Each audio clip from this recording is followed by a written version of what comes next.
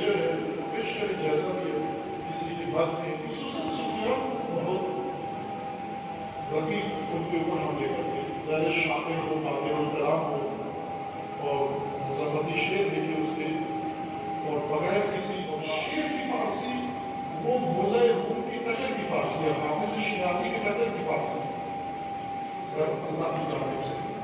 अगर मैं आपके सामने वसूख से कहूँ हम ना इस्लाम का मुदाफे हैं दीन का मुदाफे है रसूलुल्लाह का मुदाफे है।